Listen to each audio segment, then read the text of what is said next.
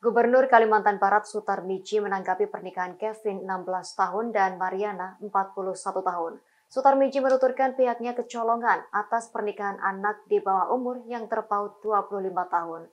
Ia menegaskan pernikahan Kevin dan Mariana seharusnya tak boleh terjadi dan terlaksana.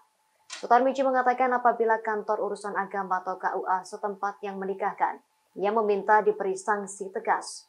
Hal tersebut diungkapkannya dalam acara Puncak Kebiar Hari Anak 2023 di Taman Sepeda Untan Pontianak pada Minggu 6 Agustus 2023 malam. Dikatakan Sutarmiji, standar laki-laki yang diperbolehkan menikah berdasar undang-undang minimal 19 tahun.